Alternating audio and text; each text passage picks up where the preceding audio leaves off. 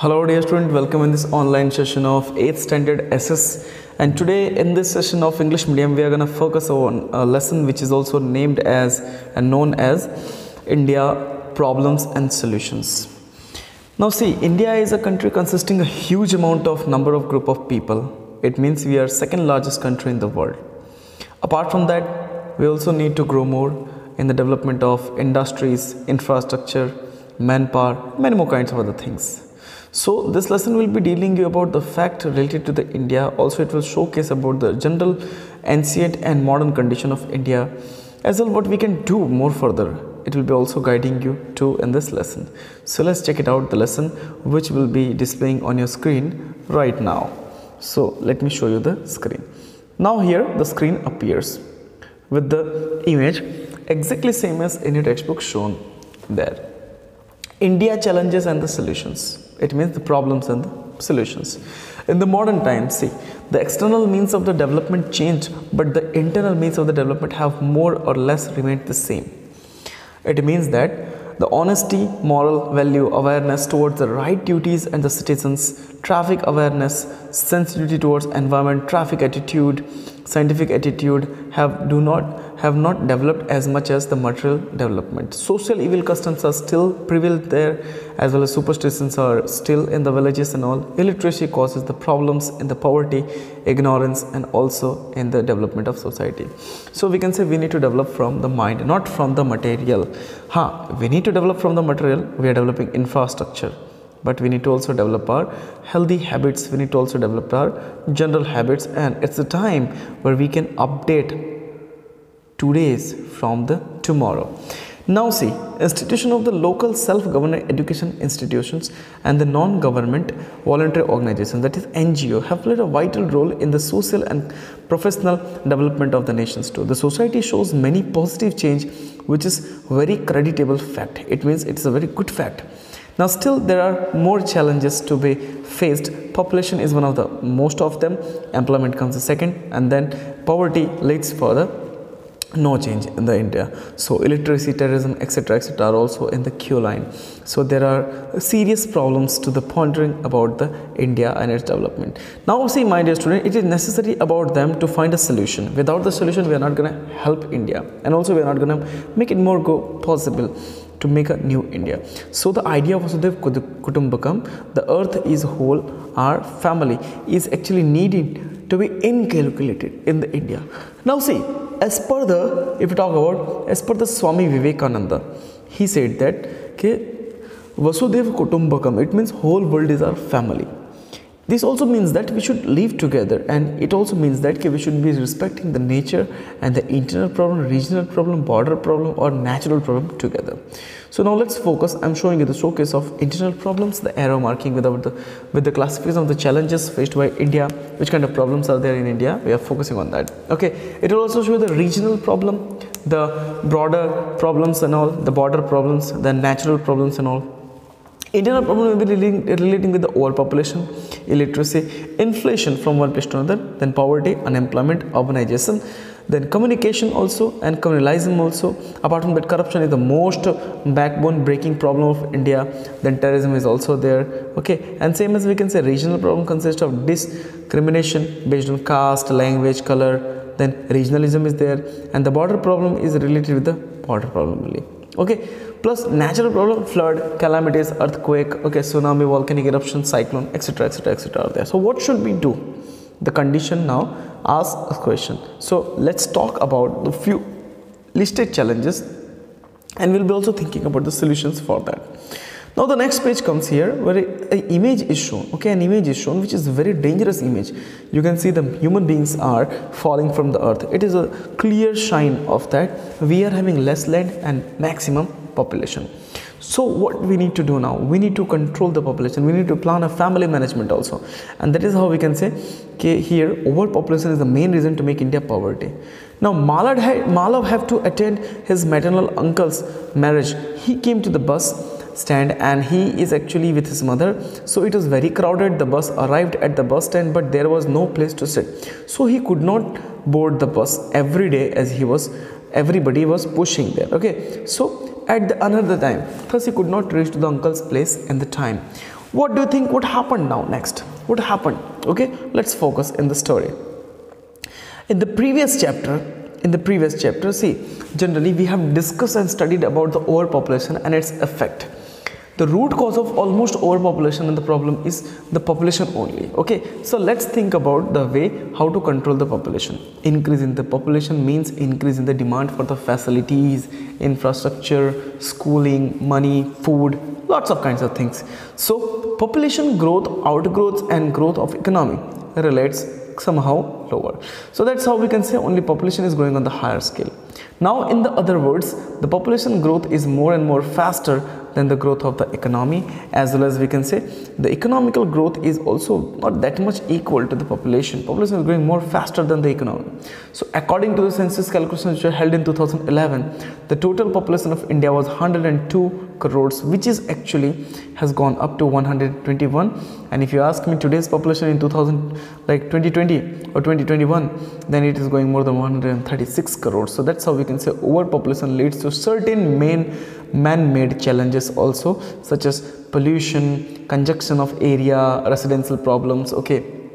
Then shortage of water there is no availability of the food also. Medical services education opportunities unemployment corruption terrorism etc etc okay murder cases rape cases and lots of kinds of cases are also there because due to unemployment. And unemployment is due to lack of opportunities. Lack of opportunities are due to illiteracy. Illiteracy leads to the population. So that's why we can say it is becoming very necessary for the government to take care certain steps and also to get a proper rule to guide and control the population. Okay so this is the basic thing which we are understanding about now see one of the main cause of india is about literacy and illiteracy also. The literacy makes the india more powerful. Illiteracy pulls the legs of india. Okay so here illiteracy is the major factor hindering the progress of a nation. Plus illiteracy is actually required in a condition to uh, we can say like understand new ideas. Literacy requires but not illiteracy now, new ideas, discoveries and knowledge. As an educated person can be having a different sort of belief, my dear student, same as he can also communicate, explain his ideas, opinions, views, benefits, beliefs, etc. etc. he can do. So when we attend the independent independence, the literacy rate was quite low. 1947 if we talk about but due to the effort of we can say awareness of the government then awareness of the awareness towards the people and all they made literacy a, a, basic reason a bridge to go and cross over the path of struggles and to reach the destination of success. But today we can say today also literacy is not that much higher than the illiteracy. So we need to completely go further with the literacy and illiteracy must be eradicated from here. So somehow we can say measurement to increase it, measurement to increase the literacy देखो we can across incident or also we come with the across incident when the people get cheated because of their illiteracy. Illiteracy is a taboo. It's a kind of old procession okay on the culture of a society and many measures have been also taken to eradicate it. Free and compulsory primary education to be aged group of 6 to 14 years as government has also given their scholarships must be must be given their midday meal, pre-primary education, then girls education, Beti Bachao, Beti Padhao abhiyans are also working there. Vidyapit schemes are there, residential schools are there for the tribes. Adult educations are also programmed if the students uh, are not getting proper education in their childhood days and they're becoming parent and they're becoming adult they're becoming farmers so they need to also be guided in any age. So government is also helping in that condition and each one is each one teach one is one kind of scheme also. So we can say since 2009 rte right to education have been also introduced and implemented so that most of the student must be getting their proper education. Okay. Now see let's find out the literacy rate of the last 5 years. See 1971 percentage was literacy about 36.95 that is percentage of literacy 63.05 and if you talk about 2011 easily you can see that 79.13 that is 20.87 percent of the literacy rates are there. So this is a condition where we can understand okay, why the inflation is there. What is the what is the what is the kindly belief of the people okay towards the literacy and the education. Now see inflation is also there that you can understand by yourself. The chart is given there and we'll be moving further on the next topic. See next topic detailifies the thought of the inflation. The increase in the price of essential commodities and the other necessities is also known as inflation. So it has become a difficult combat inflation at the time with the people to compromise with their certain commodities facilities due to these kinds of inflation. So that's also kind of a very big major issue. Now what are the measures? Okay? Measures can be related with the corruption hoarding okay? Or population are the factors responsible for the inflation okay? So that's how we can say what can we do as a citizen to stop it. The only one solution is that to this is a planned and 30 a planned a, a thrifty lifestyle. It means the lifestyle which is actually needable lifestyle not show off lifestyle okay? You need to understand what are your what are your needs then you can go further. So poverty is another major challenge faced by our country a situation where a person is deprived of basic necessities like food clothes shelter employment and medical facilities too. So it is termed as the poverty Furthermore, the percentage of the people in the Gujarat living below poverty line is around 14 to uh, 12 percent. But basically, it is also going down because we are trying to make our Gujarat and other state of India also very profoundly active for the helping people. Okay, NGOs are also helping on that. Now the criteria of the poverty are set on the basis of purchasing capacity level of income. Obviously, if you have the good income, you can purchase. If you have bad income, you cannot purchase. You will be only you will be only mingling with your general diets and routine things only. So due to five-year plan, education and the medical facilities have become more and more accessible in India. It means everything is available at your doorstep home deliveries are available. Okay? And literally we can say the growth of industries has also created lots of job opportunities which consequently has reduced poverty. So the income of people has increased due to the inter due to the integration of the technology and also in the agriculture with the other professions. See as the technology is introduced maximum in the industry in the other areas and all obviously it also creates unemployment so this is also one reason. Huh, but one thing we can say we can be learning the machines then we can work with the machines okay? So that's a general kind of thing. And if you go more further as i said to you that corruption is also one kind of thing. So we'll be reading about now with the corruption. Dekho, one more thing you need to understand my dear student corruption is not a kind of a thing you should follow. You should never follow the corruption. Because it not only make your progress hindered it also makes countries progress to be hindered. Now corruption देखो corruption is a simple term means lack of integrity honesty use of position power trust for the dishonest purpose again and again. Okay to get some gain so that's how it is working out. Now it means dishonest behavior by those in the position power such as we can say as the managers government officers corruption can be also including giving accepting the bribe. If you give any kind of gift bribe or any kind of fund that is a corruption.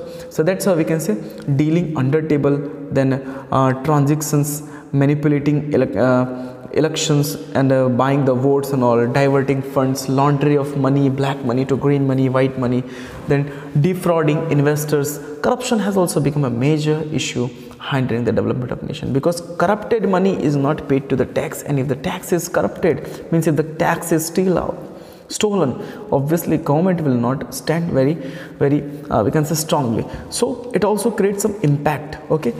So what are the impact of corruption? That is effect of corruption corruption leads to the following ill effect on the society.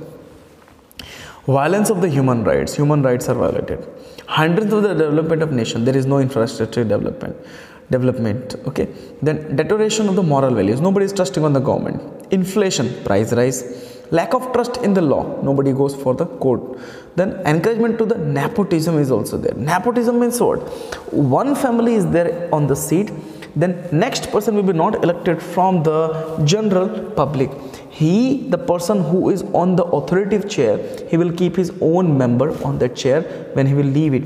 And the same process will followed by his own member. It means that their own people will be ruling always ruling. No any new candidate will be getting chance to go and update the whole rule. This will also lead to the nepotism. So that's how we can say slow human development and breach of the faith is also can be seen there okay? So measures are there. Now see government has framed certain laws since 1988 to reduce the prevent of the corruption. Now see, Anti-Corruption Bureau has been formed in India since 1964 okay? It helps people in checking and controlling the corruption. Therefore government is also ready for doing that okay? Now a message is there. Accepting and offering bribe both are crime. You should never accept a bribe neither you should give a bribe. So this is how we can say corruption can be stopped out. Now see things to be known. The people who are actually not knowing about this thing let me let me make you understand. Detail of the job available vacancy and applicant. See teacher for the primary school vacancy 13000 and available that is you can check it out. This is the amount. So this is how we can say that actually the seats for the vacancies are very less applicants are very more okay so this is also leading to the problem now if you go more further modern uh, we can say modernization and unemployment too now introduction is technology. As I made you understand students, see one man can do a work within hours, one machine can do the work within a second. So it is very faster, which is which is good also, uh, but side effect is that human beings are becoming unemployed. So that's how introduction of technology is the modern time has added to the burning problem okay? And that's how unemployment is also for example the use of computer has made the work faster more accurate machines have replaced the man and also it has resulted in the more accuracy. So mechanization of the agriculture has left many agricultural labor unemployed such as laborers facing tough time to earn their lively living uh, also migrate they also migrate to the cities in the search of work. As a result the rural areas are disintegrated education has increased expanded and uh, education is also it has increased and somehow we can say it is becoming costly too so the density of the population in the cities have increased and the result of challenges of water, shelter, transportation, health, hygiene, education have gone out of the proportion and that's how we can say the challenges are also increasing in the dirty and congested slums. Means the people who don't have area to live here and there, they settle themselves inside the slum areas, pattis and all. So therefore we can say okay, this is also leading to the anti-social activities like child labor, drug addiction, use of alcohol, mental stress, etc. etc. are the byproducts of this. So that's how we can say growing of urbanization and unemployment. A person who is above 18 year old age is only willing and capable to work. Does not if he get the good pay job can be called as a person who is unemployed. It means if you are more than 17 year old holding a good degrees or no degree whatever but you don't have any kind of job obviously you are an unemployed person. So we should think something for this. We should do something for this. And we can say this can also be making us more more profitable. Now see if these kinds of things are happening then the people are needing to get some kinds of shortcuts okay and that leads to terrorism also. Now terrorism is also one kind of global problem which affects the country economic gdp and almost all the kinds of things. So terrorism is a global problem. Terrorism activity areas uh, terrorism activity are an obstacles in the progress of nation. Obviously it is the progress of nation but if terrorism is working in that the progress of the nation must be hindered stopped or somehow boycotted. So it is an evil effort to disturb the peace brotherhood and natural and national unity also. देखो terrorism don't have any caste religion. They are actually working from out of the gender quality caste any any religion should not be connected with the terrorism neither hindus nor muslim nor christian nor, nor christian nor any kind of sikh also neither buddhism or jainism. Everybody should not connect any terrorism towards the religion. So the goal of terrorism is never sacred pure or good. And that's how we can say terrorism is an inhuman activity act that is carried out by the certain group of the people in the planned way and it is also restored by bullying killing or torturing somebody. So that is how we can say terrorism is a challenge for any government any country any nation any district or any province. Example for that we can say like terrorism is an easy way to display power forcefully.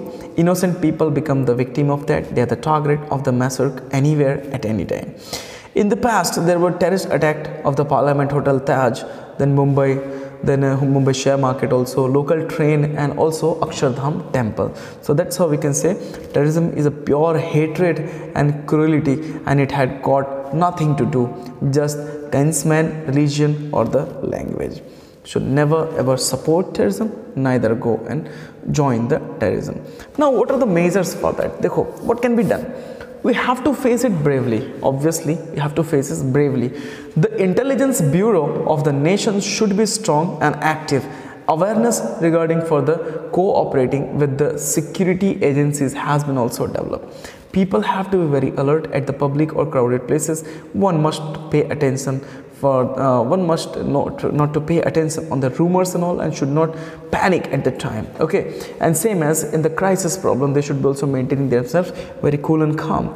Apart from that we can say the security forces should be also well equipped with the machine guns tanks and whatever the missile rocket launchers if they need okay and additional with that cctv cameras and metal detector must be placed everywhere in the public places railway stations bus stop bank and everywhere. So apart from this various other challenges are also faced by the nation. That are orthodoxy communalism religionism discrimination as i discussed.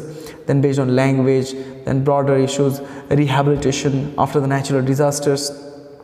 Study these kinds of problems by yourself and try to find out the possible problem solutions and also you can make a chart of that okay? So this lecture was till here only my dear student. This lecture i hope has made you to understand about the problem and the uh, we can say challenges also of india. And apart from that one thing is pretty sure and common that whenever you're stuck in a problem lesson number 20 is giving you the detailed theory about the disaster management.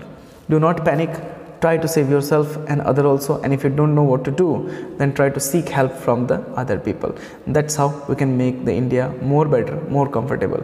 Never fear have courage move forward be calm and take all the wise decision. Take care. I hope you enjoyed this lecture. Jai hind jai bharat